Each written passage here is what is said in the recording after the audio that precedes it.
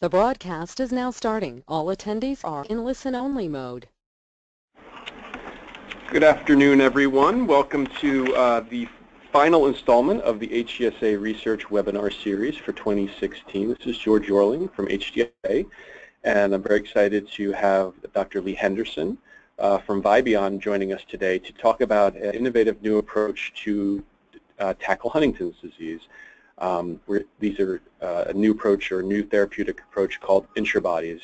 Um, but before I introduce Dr. Henderson, I just wanted to uh, give a little bit of background, as I normally do, for those that may be new to this GoToWebinar uh, platform of how you can how you can ask questions. Um, at any point during the presentation, in the questions box that's outlined on, in red, just type a question, and at the end of Dr. Henderson's webinar, we'll ask them on your behalf. So like I said, type them at any point. We are recording this, so within one week after the webinar, you should be able to accept, access this um, through our national website, hgsa.org, or on our YouTube channel, which I, is a little hard to find, but is, I've highlighted here in red this red circle in the middle icon. If you click on this YouTube icon, you'll be able to see not only this webinar, but um, uh, all of our other webinars that we've been holding since 2013. Uh, we are planning for 2017, and uh, this is an upcoming schedule for January 11th next year. We're going to have Dr. Andy McGarry, who's from Cooper Health here in New Jersey, as well as uh, a member of the Huntington Study Group, where he is going to be presenting the recently uh, completed uh, PRIDE HD clinical trial. He'll be presenting the results to the community through a webinar on January 11th. And then the tentative date is for February 1. I will be presenting a, as I usually do, a, a research year in review uh, for the past year. Uh, if there are any questions or, or topics that folks would like to hear more about, uh, feel free at any point you can uh, send your comments to researchupdates at htsa.org. So as I mentioned, uh, we, we are joined today by Dr. Lee Henderson. Uh, Dr. Henderson is currently the CEO of a company in New York, Ithaca, New York, I believe, uh, Lee, is, is where Vibeon is. Um, Dr. Henderson, over 20 years ago, launched a company called Viral Therapeutics, when he subsequently sold the, the, uh, the assets to Meridian Biosciences in 2008 and relaunched the new company as Vibeon. Uh, in 2011, Vibeon collaborated with a group at Caltech and subsequently developed a, a first-in-class, potentially disease-modifying intrabody gene therapy for HD, which is currently in preclinical uh, development, and you're going to be hearing more about that uh, during Dr. Henderson's presentation. Uh, Lee has, has, developed over 10 biologic drugs and was active in the hemorrhagic fever virus consortium, developing the first FDA-approved diagnostic assays for Lassa fever and Ebola viruses. Um, Lee has helped launch several startup companies and served on advisory boards at Cornell University and the Rockefeller Institute, or sorry, Rochester Institute of Technology.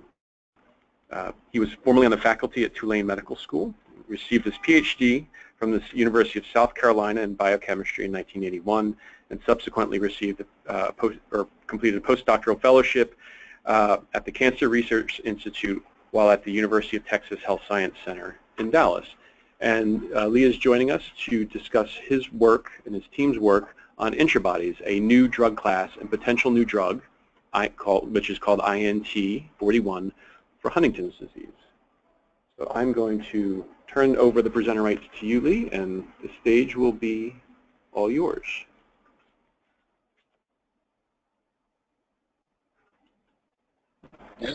Yeah, everyone, I assume everyone can see. Um, let me start off by uh, a little bit of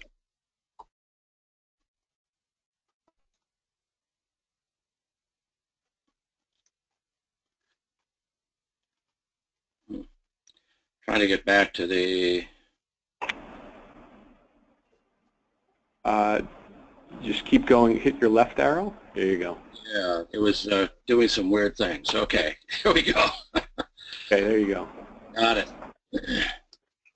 So uh, just to make sure that everyone is uh, on the same page uh, as you, you, obviously are are well aware uh, Huntington's disease is a motor as well as cognitive function issue that's related to CAG repeats in the Huntington gene, uh, which encodes, and each of those CAG repeats encodes a uh, glutamine residue, which is a positively charged amino acid, and that the um, uh, the des adult disease, you know, and, and these are, there, there are quite a number of these uh, polyglutamine uh, repeat uh, type proteins and other diseases associated with these sort of extended links of uh, polyglutamine.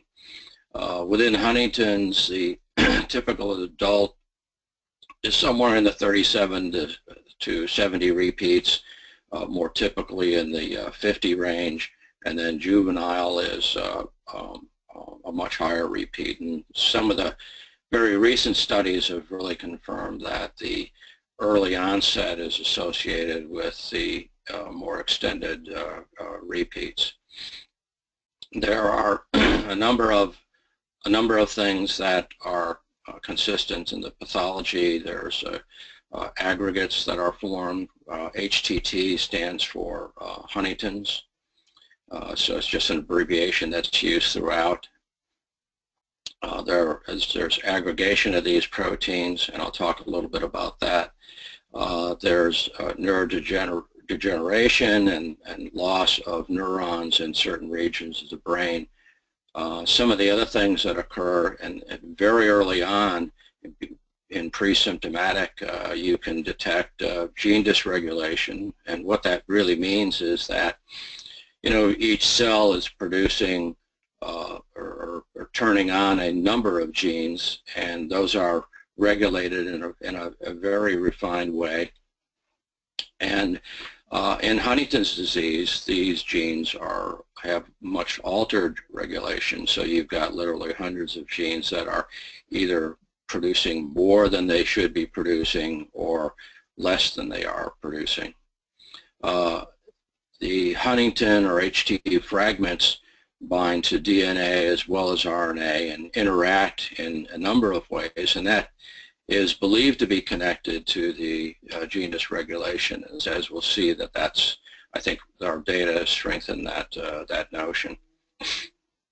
Uh, so let me go to the next slide then.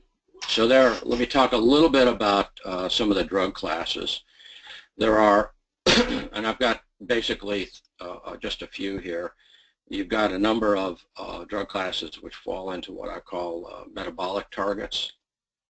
And many of these have not fared very well in the in the clinic, even though some of the animal models it looked like they, uh, they, they might have some efficacy. The believe that based on our results and the results of many others that the, the real difficulty with these metabolic targets is that you do have such gene dysregulation and that targeting these sort of endpoints of that process um, is, is, is going too far downstream for symptoms. A number of other approaches are um, the uh, HTT or Huntington's expression, gene expression with interfering RNA and zinc finger. Um, as we've talked to neurologists, the real concern that they have broadly, not only with that, but also with ours as well, is whether or not we're altering the expression of the of the normal allele. So you're producing uh, you're producing product or Huntington protein from two alleles, one which has mutation and one which uh, does not. And if you're altering the expression of the one that's normal, then the the thought is that long term that may have uh, real consequences. So our uh, um, approach is to target uh, much further downstream and target the protein, uh, what's called N-terminal fragments or these toxic fragments and, and, and, and some of their biological effects uh, rather than going very far upstream and targeting gene expression or targeting the uh, the symptoms around the uh, gene dysregulation. Um, so let me um, go and and go back to talk a little bit about what what interbodies are. Uh, so antibody drugs you've probably heard of. You, if you watch the news every night, you see commercials about anti, antibody drugs. And if you look at the names, anything that has MAB at the end is an antibody drug. Uh, this is a, a very fast-growing therapeutic class. They have a very good safety uh, profile. Uh, they're used for a wide range of diseases. They're injection or infusion because they're systemic uh, targeting. So these are, are, are a very successful uh, class of drugs. Uh, interbodies are, are much smaller formats of antibodies. And these are these can function inside of cells. The trick is how to get them there. And they're delivered as a, a piece of DNA that's packaged into a virus.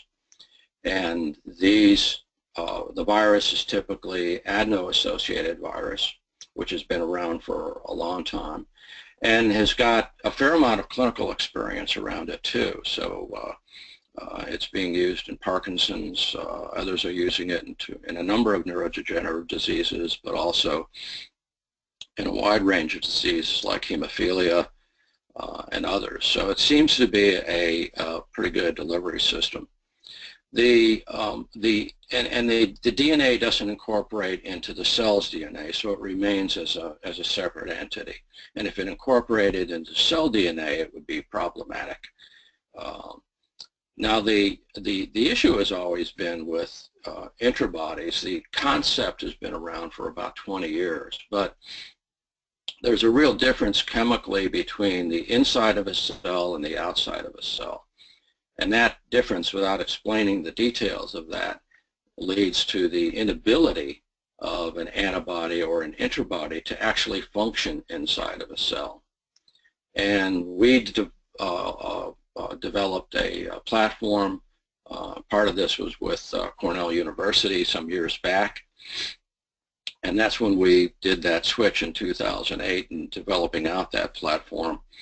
So we can select for interbodies that um, um, not only uh, have uh, function inside of cells, but have, meet the solubility standards. Because one of the other issues is that interbodies inside of cells normally aren't terribly soluble, and that speaks to the differences in the in the chemistry in, in the inside of the cell versus the outside of the cell.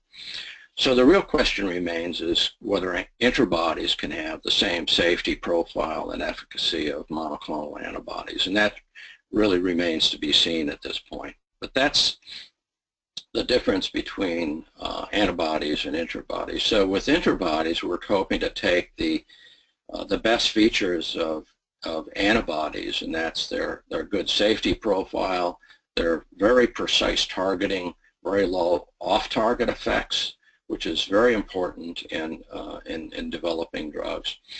So the off-target effects are extremely low and their efficacy and translate what we see in antibody drugs into the, uh, the inter intrabody uh, drugs as well. And that's really in the, in the formative stages. And there are a number of labs that are developing that uh, uh intrabodies.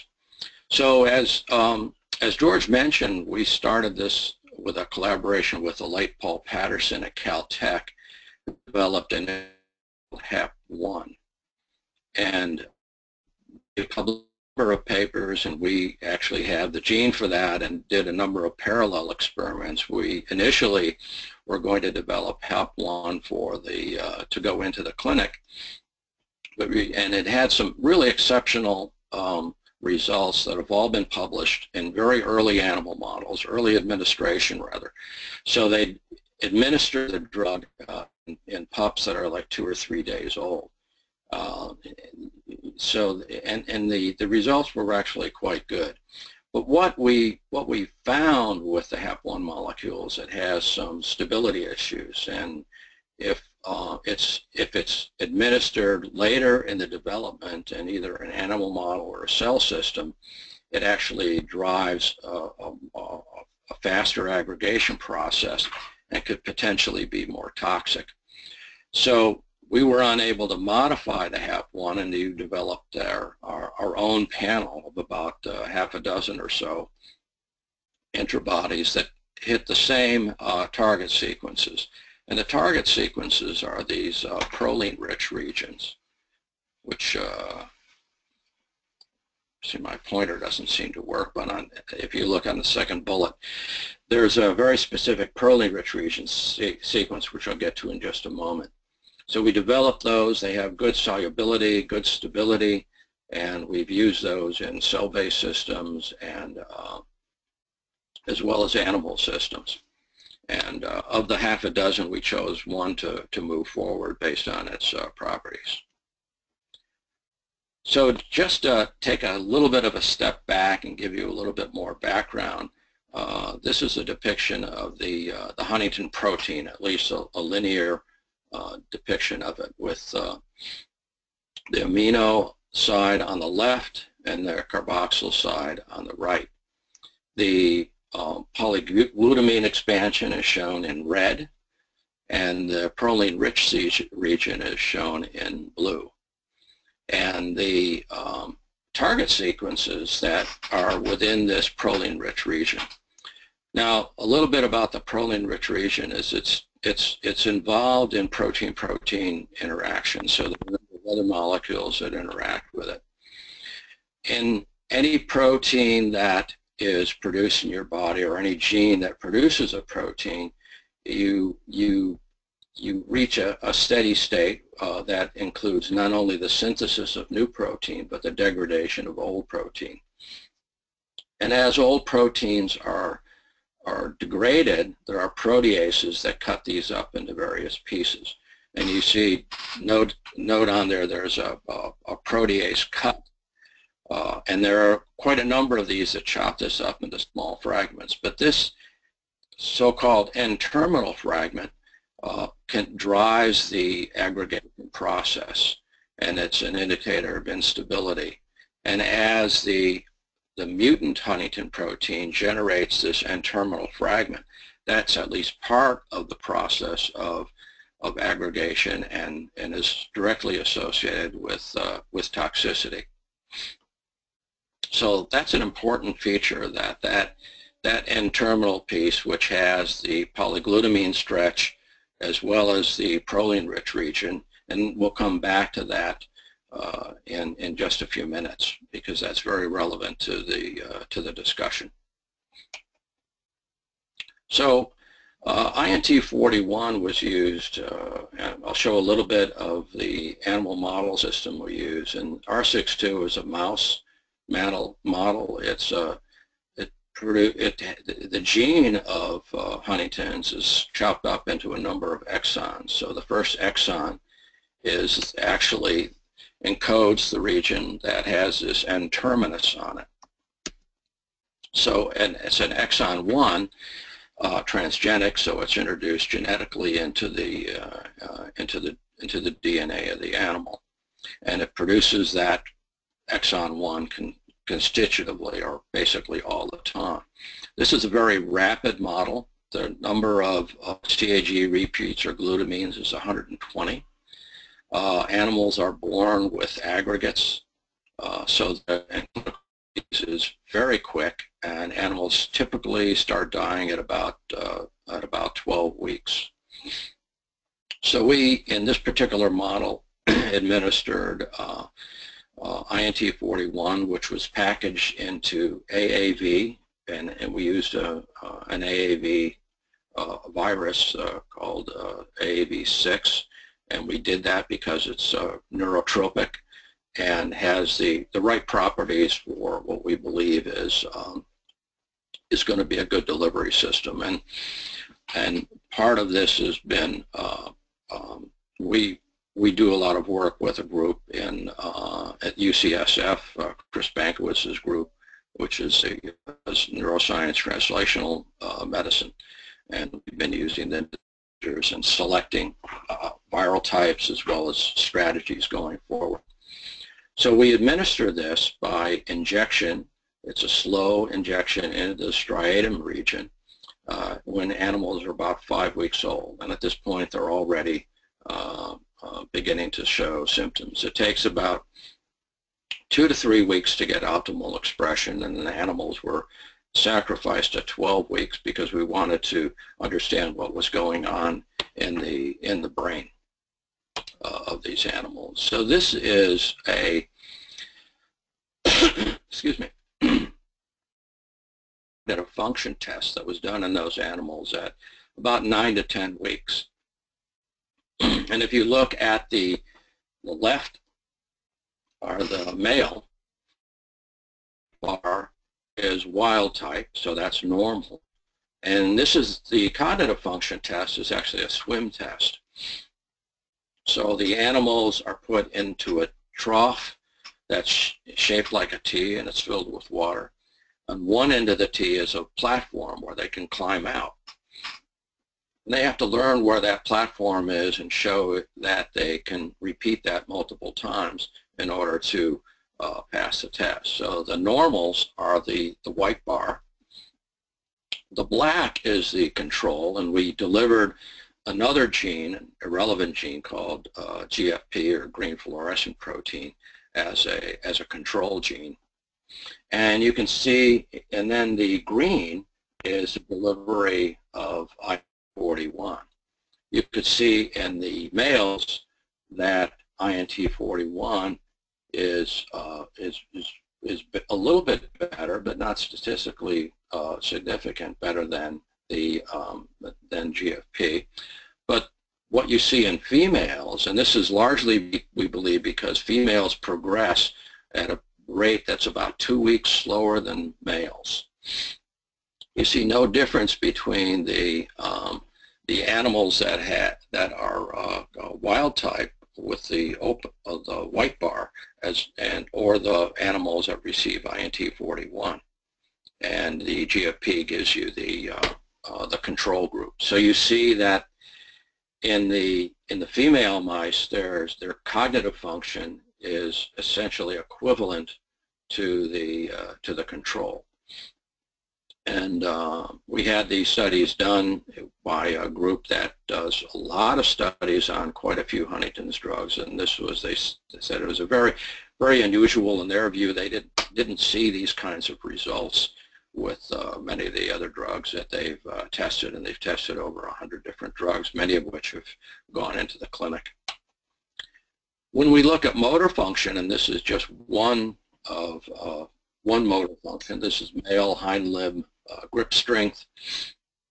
What you see in the um, in the animals with the say the open circles and the solid bar, that's the wild type.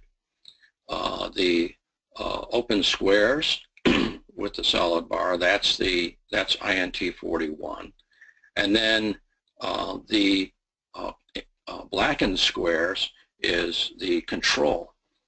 So those animals begin, are, they track pretty well up until about um, the, uh, the, period after INT41 expression is uh, is begins to be optimal. So that's where you see a real divergence. So you see the GFP or the control animals uh, uh, begin to uh, decline very rapidly, whereas with INT41 they begin to stabilize. So what we've observed throughout uh, a, a, lot of different tests is uh, either improvement and or stabilization of loss in not only cognitive function but also in uh, motor function. So we were very encouraged by the uh, by the initial data. When we went to look at aggregation, since uh, the uh, Huntington protein aggregation is associated very strongly with uh, with progression and pathology, we looked at these very small aggregates. And one of the reasons we looked at small aggregates, we could actually, uh, using histology, we used a program. We actually had a had a uh, had this all done by the pathology group that we uh, we hired to do the analysis.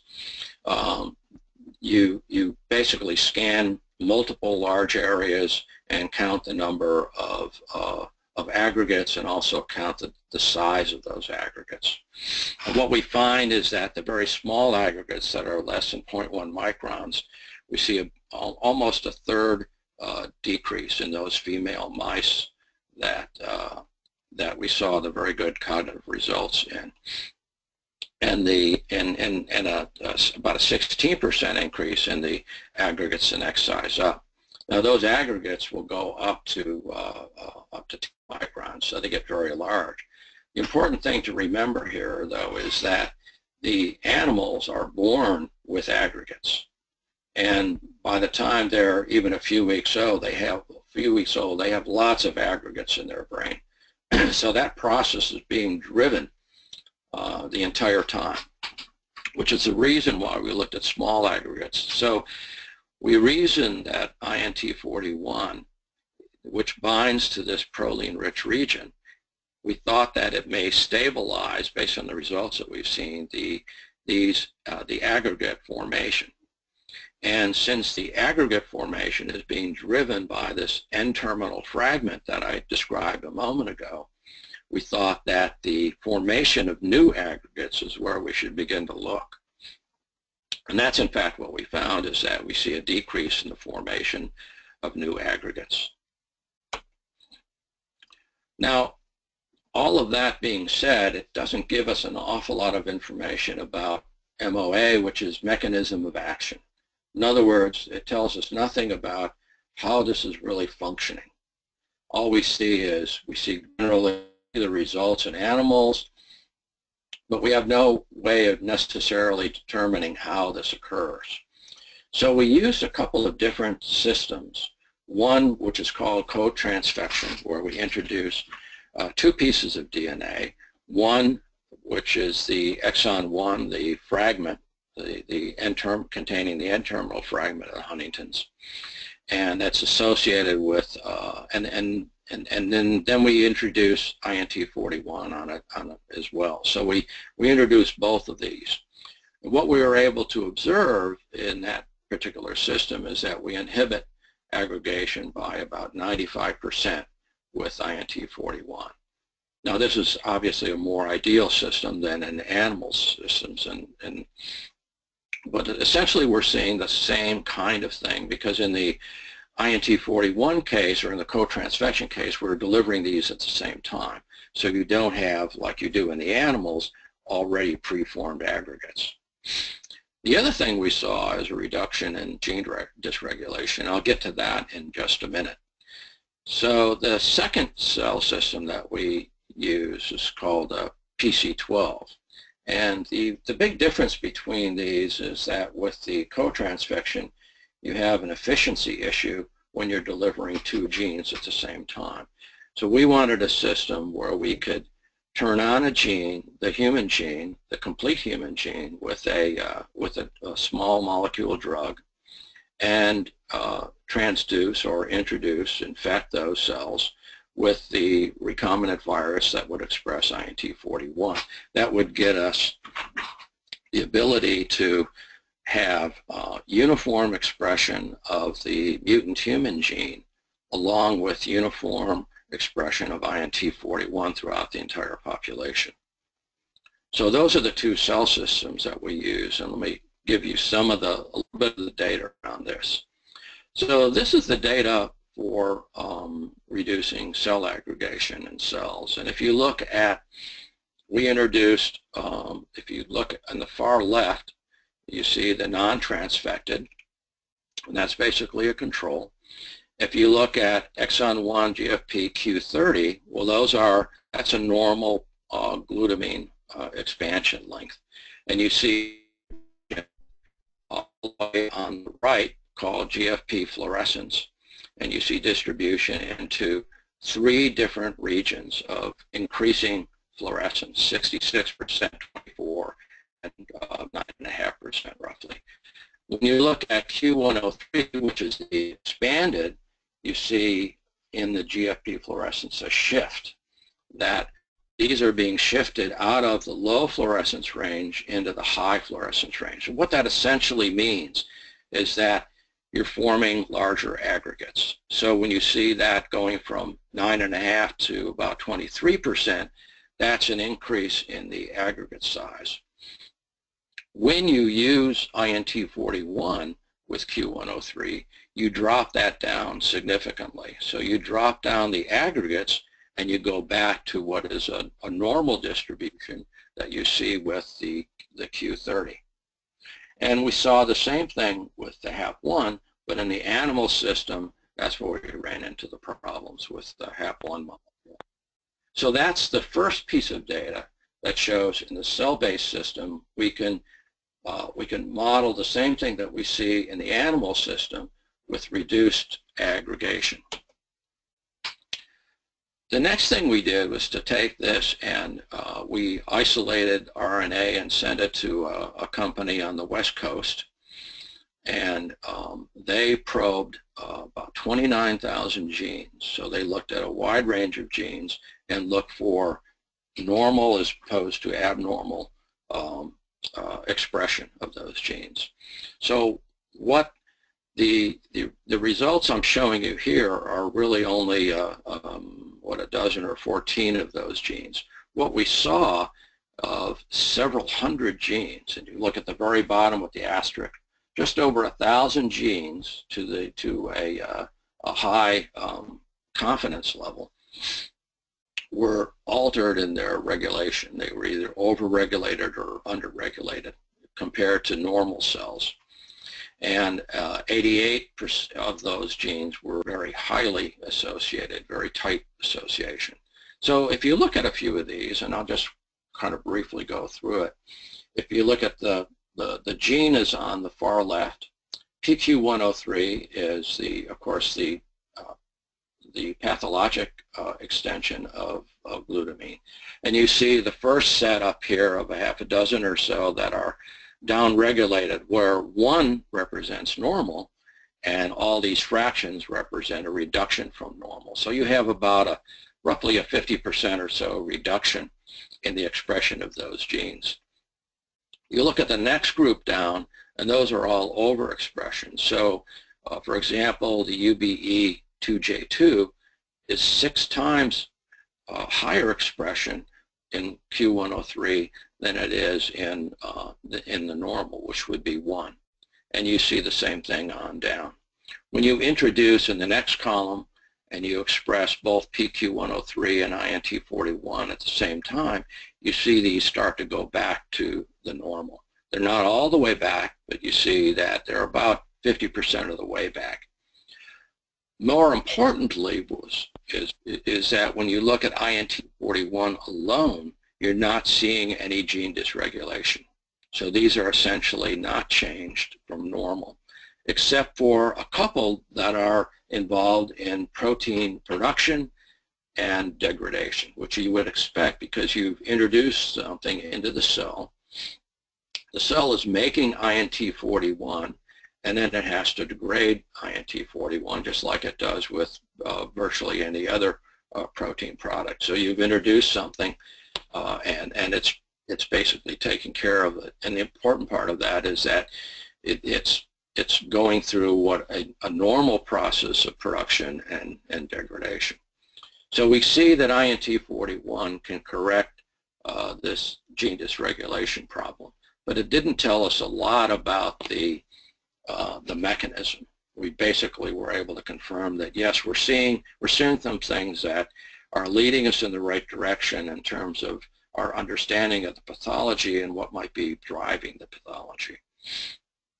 The next thing we turned to was the, the, the PC12 system of the two systems that I described, where we can get uniform expression throughout the entire population of both uh, a, a, a mutant Huntington gene as well as INT41. And we could then take those cells, which is what we did, and fractionate those and track where these N-terminal fragments are going from the cytoplasmic, membrane, nuclear soluble, chromatin bound, and finally a cytoskeletal skeletal fraction.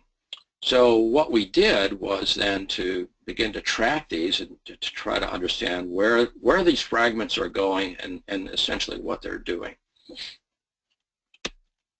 So the first slide here, and this is what's called a Western blot, and I won't uh, try to explain the details of that, but the if you look at, you have, we had two cell lines, one Q23, which is a normal um, uh, length, and another Q73, which is the abnormal length. If you look at the 6, 8, and 11 under the Q23, uh, those are days, and ETOH is ethanol. So it's basically a carrier that was used to uh, introduce the drug called PON-A. And that gives us uh, what is the endogenous gene. So the cells have their own gene that they're producing, as well as the uh, gene that was that was inserted uh, into those cells. That's a full-length human gene, and that's in the next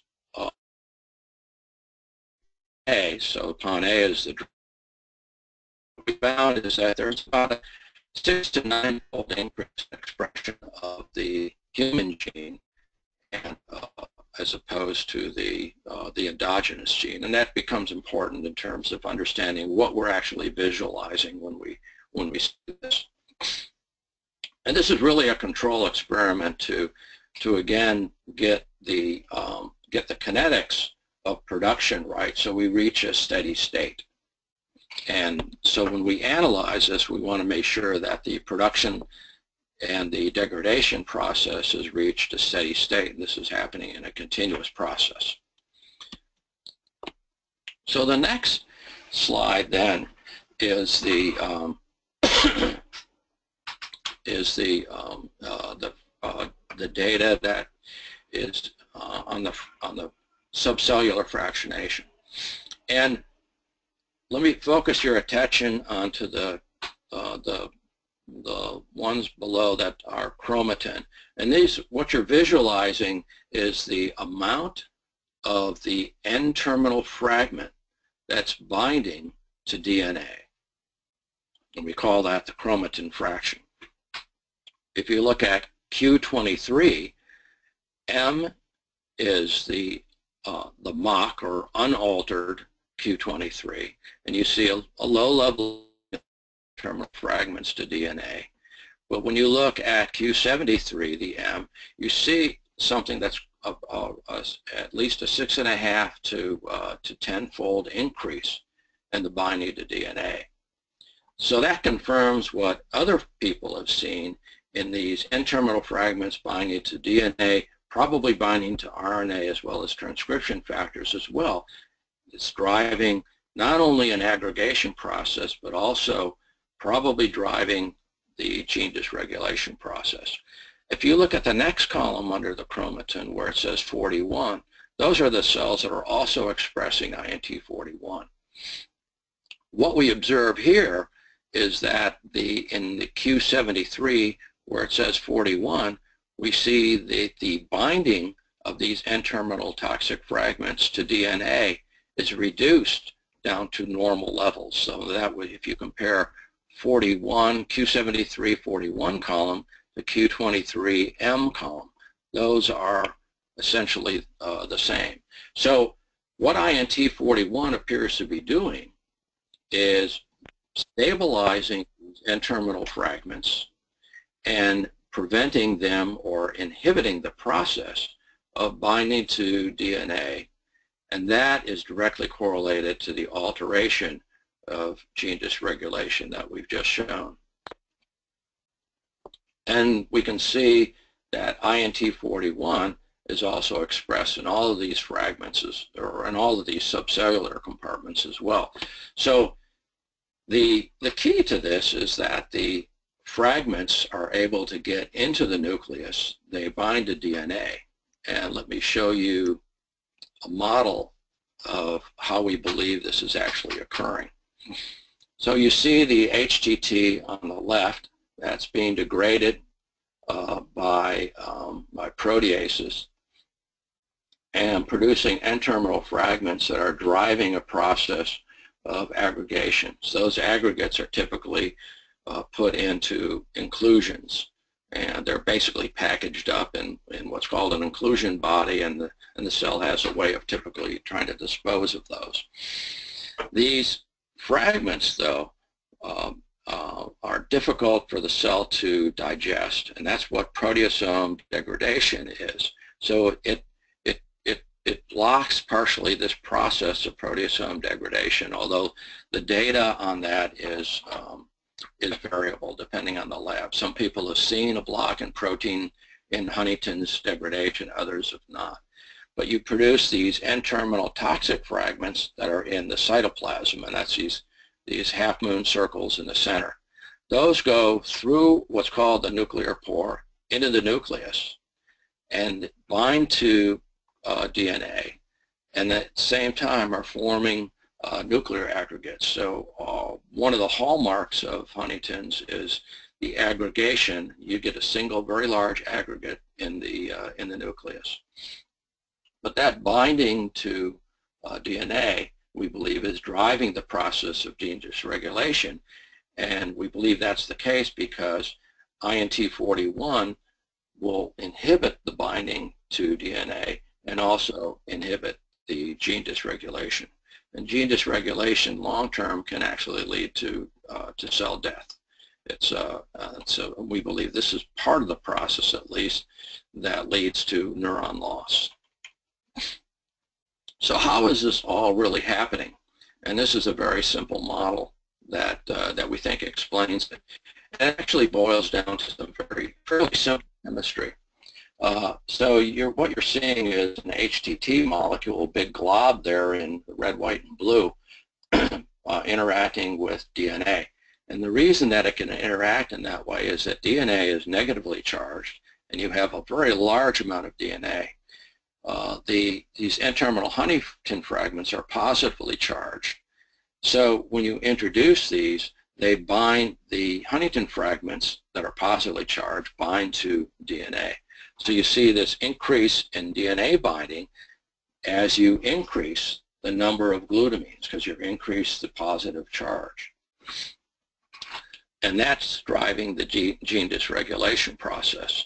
So if you look at the on the right where it says proline rich, there are two target sequences in the proline rich region. Now the proline rich region, as I mentioned before, is a site of protein-protein interaction. And this, there are a number of, uh, quite a few proteins that have proline-rich regions that can drive an aggregation process. What we believe is occurring is that as INT41 is binding to these proline-rich regions, it's stabilizing that molecule and inhibiting the, uh, uh, the process of aggregation and at the same time uh, altering the uh, ability to bind to DNA because this polyQ is going to be, rather than being folded up, is going to be exposed. So this is what we would view um, is, is happening in the case of uh, cells that are expressing INT41. Um, you've got the Huntington's fragments that are being generated, but these are being uh, bound by INT41, which is the green circles binding to the, uh, to the black half moons. Uh, if you treat early enough, you shouldn't see any alteration in proteasome degradation. Some of the data, which I didn't try to articulate because of the complexity of it, shows us that INT41 binding in the cytoplasm reduces the um, transportation of these toxic N-terminal fragments into the nucleus. So once they get into the nucleus, though, the INT41 is stabilizing those molecules.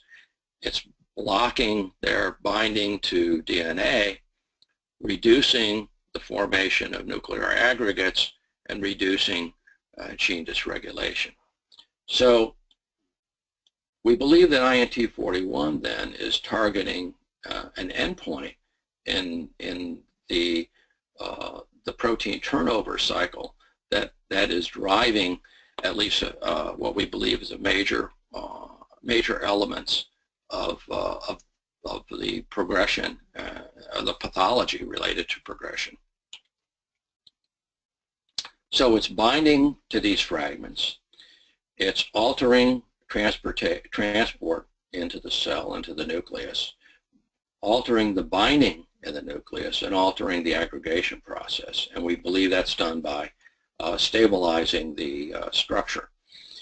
And there's a number of reasons to believe that it's working that way, and that would relate to other proteins where antibody or interactions with these um, proline-rich regions uh, has been shown to uh, to be a, a, a, not only a driver of, of protein-protein aggregation, but also uh, neutralizing that effect can neutralize the aggregation process. So some of the key takeaways from the from the data is that we're not seeing any uh, toxicity in the in the R62 model. Uh, so that uh, that's a positive.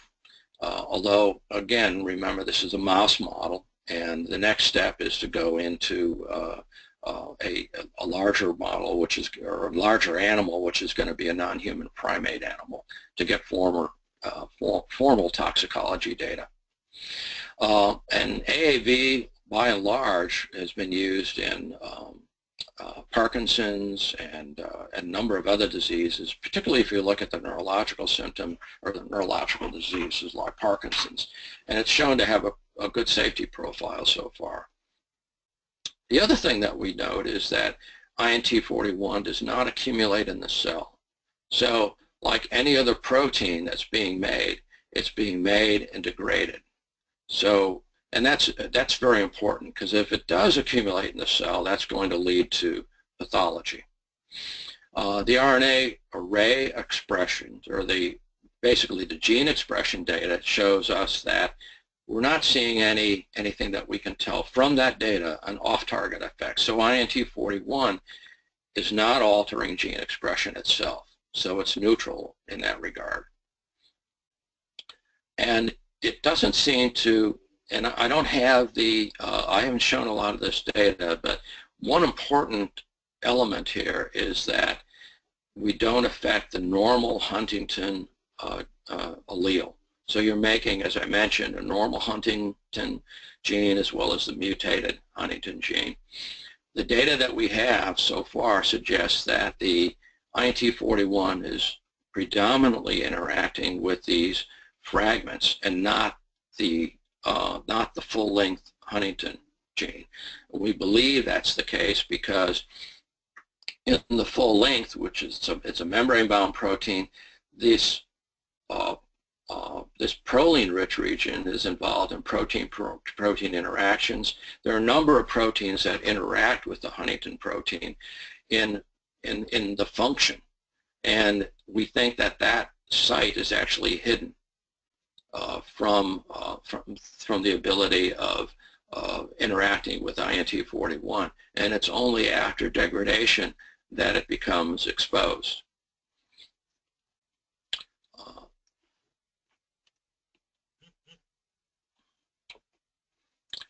so our our plan right now is we're we're in discussions, uh, the, the, the latter stages of discussions with a uh, global partner working on a uh, not only a work plan to get into the clinic, uh, but also a, uh, uh a, clinical plan as well.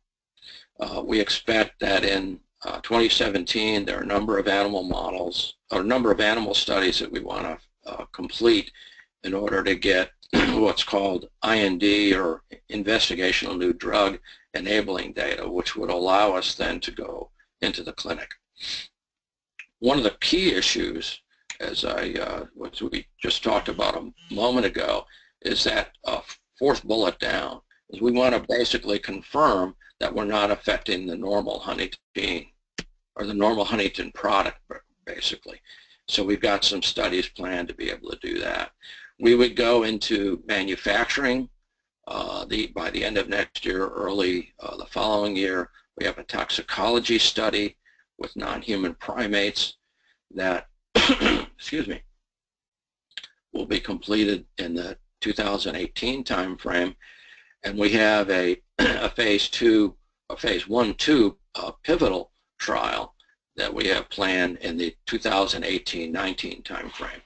This would be uh, 40 to 60 patients where we would use uh, multimodal neuroimaging that can measure caudate atrophy. So caudate is a part of the brain and that shrinks in the um, uh, so we can we can measure shrinkage of part of the brain, and the uh, that occurs in a, largely a linear fashion with progression of the disease. And then we would use the normal uh, cognitive and motor function tests as, uh, as, as well. But we thought the multimodal neuroimaging was really important because in uh, uh it's, it's something that in six-month increments we can really track on an individual patient basis what whether or not the, the brain cells are, are, are, are, are dying or or whether they're uh, uh, relatively normal. So the caudate atrophy part we think is really, uh, really quite important. And that's the, um, it's the last slide that I have. So be happy to answer any questions that you might have.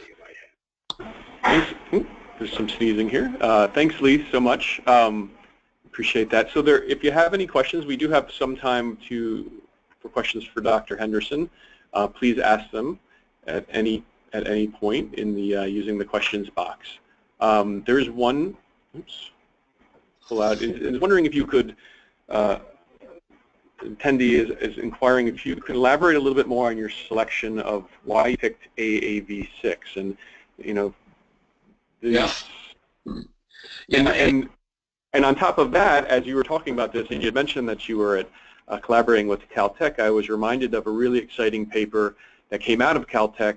It was published, I think, in late last year or early last year um, in Nature Biotech, looking at these new types of serotypes of viruses, the PHP A and B from um, Ben Deverman's lab, or Ben Deverman is the, the, author, where you can actually administer IV as opposed to intrastriatally, as you guys are doing. Have you ever thought about doing that?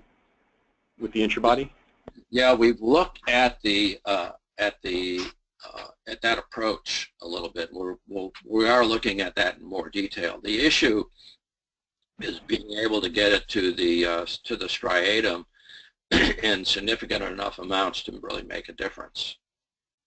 So the delivery, uh, there are there are also some work out of UMass showing uh, with certain serotypes that can be delivered systemically but then the amount that actually gets to the brain is fairly small. So the, some of the concerns are, do, are, there, are there off-target effects that might happen if you're only delivering a small percentage to the brain and are you delivering a significant amount? So we're following those studies to see whether or not there are other options.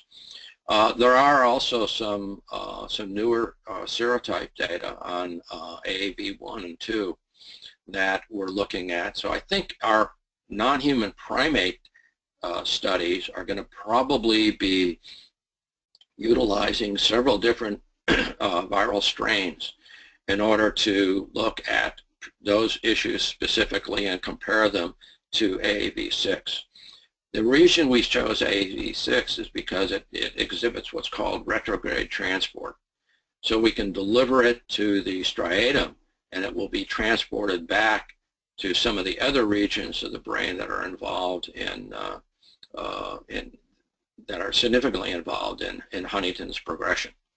Whereas something like AAV2, which is anteograde, if you deliver it to the striatum, it can't get back to those regions. the other reason is that uh, AAV6 is very neurotropic. AAV2, of course, is as well. But the, um, and and we had uh, primate, non-human primate studies that were done by uh, Chris Brankowitz's group that, uh, that have really led us down that path. Although um, in talking to Chris uh, in the last year or so, um, they did some studies with uh, another group uh, that, that shows that some of these newer serotypes might actually be better. So I think to answer your question, I think the key is going to be designing a primate study where we can test these head-to-head. Okay, thanks, Lee. Um, a question regarding your, your, interesting data where you saw a, a, unique difference between the males and the females that were given, that were treated with the intrabody in your, um, the R62. This is the mouse model data that you presented where the, the females seem to respond to the drug when they looked at the, I believe it was the T, T-maze, the T-swim mes- uh, swim test, and the males did not respond. And I'm wondering if, since you sacrifice those animals and you have their, their brains, did you look at the aggregates to see if that correlated to why the drug didn't seem to affect the males? Did the did the aggregates were they not impacted by the males versus the females? Uh, actually, uh, that's true. What we saw, this has been observed in the R6-2, is that the female mice are a little bit slower in progression. But we see that it does track the aggregates. So you see reduction in, in aggregates, but to a much smaller degree in the males than in the females. So there is a concordance of that kind of data uh, when you look at males and females. We think that if we had done that swim test, say, two weeks earlier, we would have seen the same kind of things in the in the males. Had we been able to introduce uh, INT41 rather than at five weeks, it's something like you know three or four weeks. Uh, our concern was whether or not um, that was really well. You know, you you you're going to be administering in humans at a point where patients are either close to symptomatic or perhaps symptomatic. So I think when you do the things in animals, we're trying to do them at a stage where you're beginning to see that same transition. But I think that that's, yeah, I think if we had, if we were able to go back, we have seen the correlation in aggregates between males and females and the cognitive ability. And so that does correlate quite well. And uh, if we'd gone a little earlier in the uh, in the uh, in the swim test, we may have seen a broader difference in the uh, in the males as well. Another question regarding so so the INT41 is a, an intrabody that binds to this poly this proline-rich region, which is present in Huntington, but it's also present in I don't know how many, but maybe you do, Lee. How many? A number of proteins in our body. Um, yes. Perhaps it's hundreds, um, but and you showed that at least in a, a in a the HEC293 cells that it didn't at least globally seem to affect transcription too much. Um, that's one thing, but did you look at some key poly or proline-rich proteins to see if INT41 disrupted their function? they, they may not be altered in gene transcription, but they may be, if this antibodies or intrabodies binding to them, they're unable to do their normal function. Yeah, that's something that we actually have planned in the in the next set of uh, of studies to do. So we plan on getting that uh, launched fairly soon. So there are a number of those that we'll be looking at. Um, one of the and that that was an issue when we um, when we were thinking about this whole um, approach and the, pro, the proline-rich regions because as you mentioned, there, there are lots of these proline-rich regions. There, there are literally hundreds of proteins that have them. So what we have, INT41, one of the things that uh, uh, we, we discussed with Caltech is, is it, do we want to drive uh, the affinity maturation process? So do we want to get an interbody that has higher and higher affinity?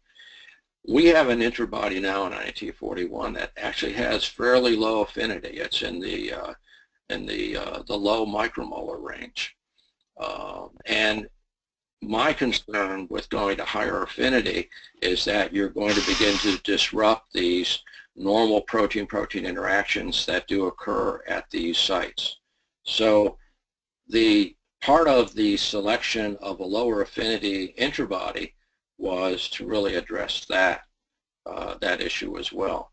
But I think you know the point is well taken, and those studies are planned to look at whether or not we disruption disrupt function of of other uh, proline-rich regions and other proteins.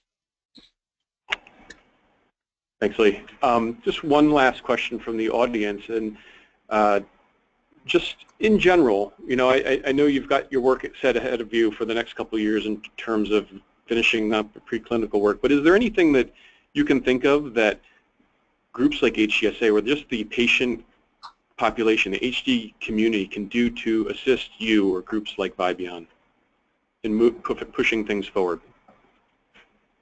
Well, I think I think it's an engagement process, and, and I think this is one of the things that uh, that really facilitates that. So that, and part of it is for us in forums like this to be able to talk about what we're doing, but also at the same time hear from not only patients, uh, caregivers, but also, you know, obviously some other other scientific points of view, other uh, uh, other questions. Have we thought about this or have we thought about that? So I think that this this level of engagement is really where we want to be going forward in being able to uh, to continue to talk to HDSA and talk to uh, patient groups and as well as the scientific community. So I'm giving a talk in uh, in a few months in Boston, and uh, and, and and keeping that that engagement up, I think will to is is really the most important thing we can do. Great, thank you, Lee. Couldn't agree more. So um, I want to thank you for your time. We're right at 1 o'clock, so right on time. And thank everyone for dialing in.